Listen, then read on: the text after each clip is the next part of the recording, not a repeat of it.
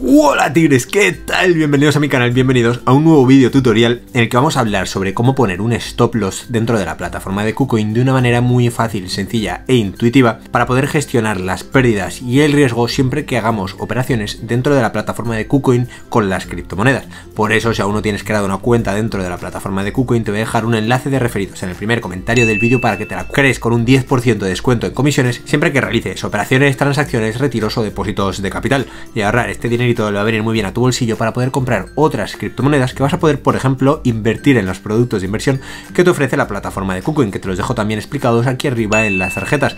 Productos como puede ser, por ejemplo, los términos flexibles, el staking, etcétera. Estos productos nos permitirán sacarle una rentabilidad compuesta a nuestras criptomonedas e invertir de esta forma generando un interés compuesto, ya que las criptomonedas pueden estar revalorizándose en el mercado y generándonos unos intereses en esos productos que te he dejado arriba en las tarjetas. Dicho esto, no te voy a entretener mucho más, vamos con la intro a toda leche, que comenzamos.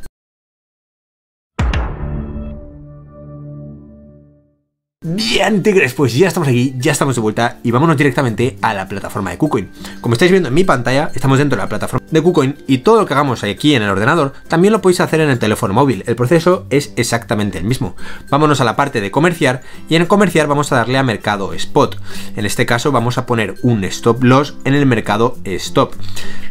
Para eso básicamente lo primero que voy a hacer es definirte qué es un stop loss. Un stop loss es una orden que va a estar ahí pendiente para que se ejecute para limitar el riesgo siempre que tú estés en corto o en largo, es decir, siempre que tú hayas vendido o comprado un producto.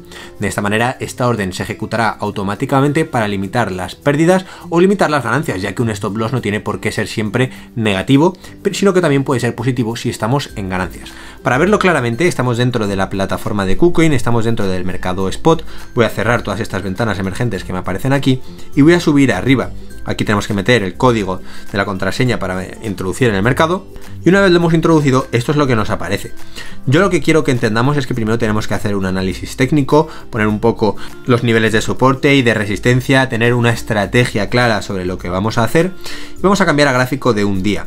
En este caso vemos aquí por ejemplo un nivel de soporte bastante claro en el Bitcoin USDT, así que vamos a dibujar una línea, vamos a poner aquí línea horizontal, aquí, vamos a ponerla tal que así, a un precio de 29.661,0 USDT. Es decir, yo quiero fijar mi precio de stop loss a este de aquí y que si llega a este precio de aquí, evidentemente, nosotros estaremos vendiendo nuestro Bitcoin y transformándolo a USDT. Por eso lo que vamos a hacer es irnos hacia abajo, tenemos seleccionado el mercado spot y vamos a prestar especial atención a la orden stop limitada, que es la orden que nos va a servir a nosotros para poner este stop loss. Aquí nosotros vamos a poder poner una orden stop limitada tanto de compra como de venta. Por un lado, en este caso, pondríamos de venta, ya que estaríamos vendiendo el Bitcoin, pero si por ejemplo quieres comprar y quieres comprar a este precio de aquí porque estás en corto con USDT, pues bueno, en este caso lo pondrías a un precio, a un nivel de resistencia. Tiene bastante lógica y por eso he dicho antes que era importante realizar un análisis técnico previo. En este caso es de venta y lo vamos a poner a este precio de 29.661, así que vamos a tener que distinguir primero el precio de parada, luego el precio y luego la cantidad. El precio de parada se define como el precio stop, el precio este va a ser el precio limit o el precio limitado y esta es la cantidad que nosotros vamos a vender. Vamos a partir del supuesto que nosotros tenemos un Bitcoin en nuestro poder actualmente y que cuando llegue a este precio de aquí queremos vender pues 0.5 bitcoins y de esta manera cuando llegue este precio como he dicho venderemos estos 0.5 bueno pues el precio de parada va a ser el precio en el que se va a activar esta orden por ejemplo nosotros vamos a poner en este precio 29.561 ¿vale? Y aquí abajo vamos a poner el precio al que se va a ejecutar la orden en cuestión, 29.661.0.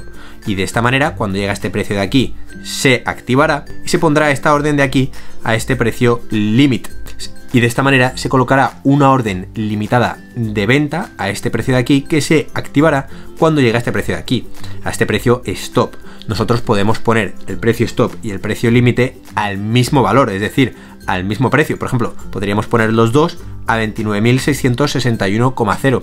Pero la plataforma siempre recomienda poner un poquito de diferencia entre uno y otro. Por temas de volatilidad, creen que esto es mejor y podremos asegurar que se ejecute correctamente. Mi recomendación es que la diferencia no sea muy grande y que si llega al precio stop se ejecute la orden límite casi automáticamente ya que la diferencia tampoco es muy grande. De esta manera has aprendido a colocar un stop loss, en este caso de venta. También puedes hacer lo contrario y ponerlo arriba en un precio de compra para poder limitar tus pérdidas o poder limitar tus ganancias. No me debería hacer falta decir que si tienes alguna duda déjala en los comentarios para que nosotros la resolvamos todos juntos o también puedes seguirme en Twitter para mandarme un mensaje directo y resolver tus dudas. Además nosotros allí publicamos noticias sobre el canal y sobre las criptomonedas que te va a venir muy bien para estar al día sobre ellas. Si te ha servido el vídeo dale un mega like, mírate otro vídeo para cosas nuevas dentro del mundo de las criptomonedas o suscríbete aquí para tener los mejores tutoriales dentro de YouTube.